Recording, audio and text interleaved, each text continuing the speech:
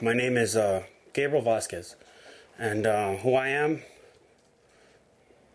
is hopefully someone doing good things for my community. As you can see, this is Ironlak, this is flame. That right there is real. I like this a lot. Montana, spray paint is the best. Art is the combination of passion, insight, and heart.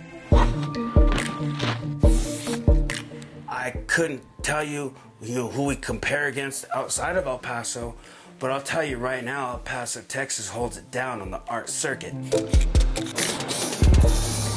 Now this right here, bro, this is when you're trying to get out of there before the cops come. All right, this is the hardcore fat cap. Yo, this one's so cool.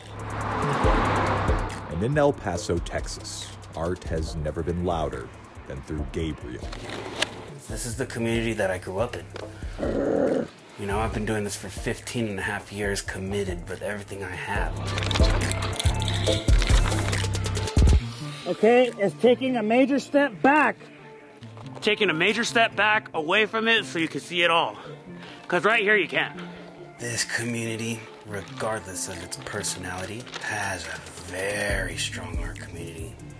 So strong to the point where Uh, put on Kobe's face. I am pushing myself my hardest every single time just to even be a part of it.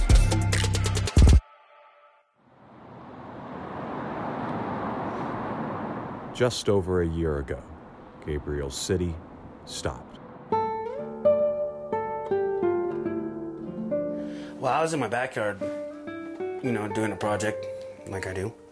And um, my mom told me, hey, Gabe, what? There's some dudes shooting people up at Walmart right now. Just don't go anywhere. A mass shooting at Walmart killed 23 people, and when his city needed him most, Gabriel was sent to create one of his most notorious murals. It says El Paso strong. What does this mean to you, what you're doing? Making God happy. Because He gave me the gift to do it and an opportunity to do it well.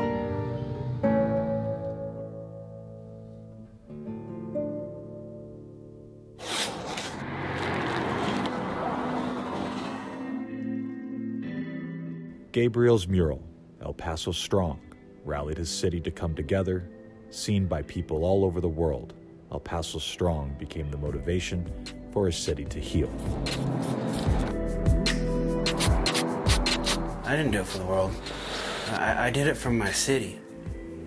Because I hold it down for my city. I ride hard for my city. I don't know these people. I don't know any of them. But you know what? The people who do, that came and told me their stories, is when it hit so deep that it became real for me. Because it wasn't real for me in my backyard. You know?